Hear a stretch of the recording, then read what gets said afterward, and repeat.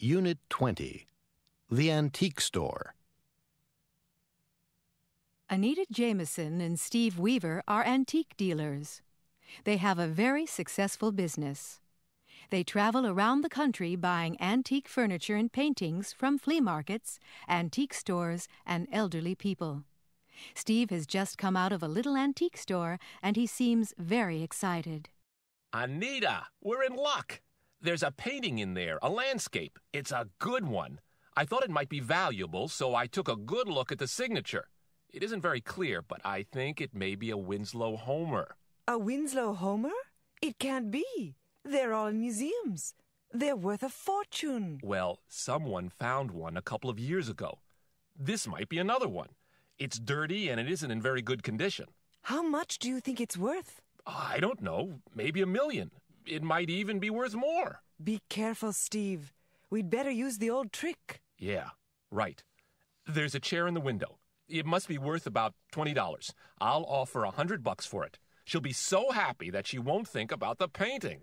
Don't say you want the painting. Say you want the frame, okay? Fine. You'd better wait in the van. I'd rather do this on my own. Uh, Steve, check the signature before you give her a hundred bucks for the chair. Don't worry, Anita. I know what I'm doing.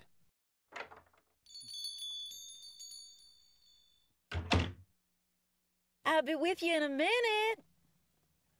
I'm interested in that chair in the window. What? That old thing? It's been there for years. It has? Um, it's very nice. I think it could be Victorian. Really? Yes, I think I'm right. I've seen one or two other chairs like it. I think I could get a good price for that in New York. I'll offer you a hundred dollars. A hundred dollars? You must be out of your mind. No, no, it's a fair price. Well, then, it's yours. There you are, then. A hundred dollars. Goodbye. Oh, by the way, that painting's in a nice frame. It's a nice picture, honey.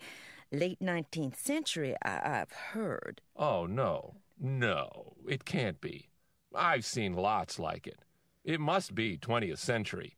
There's no market for them. Still, I could use the frame. All right. How much will you give me for it? Uh, how about $40? Oh, no, honey. It must be worth more than that. It came from the big house on the hill. It did. Let me have another look at it. Yes, the frame really is nice. I'll give you $200. Oh, my. I don't know what to do. You see, I like that painting myself. All right. 250. That's my final offer. Let's say 275. Okay. It's a deal. Should I wrap it up for you? No, no, I have the van outside. It was nice doing business with you. Goodbye. Bye bye, honey. Thank you. You come back to see us, you hear?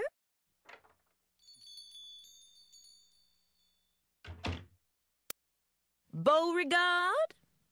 Yes, darling. I've sold another one of your imitation Winslow Homers. You'd better bring another one downstairs if the paint's dry. The young gentleman who bought it seemed very happy with it.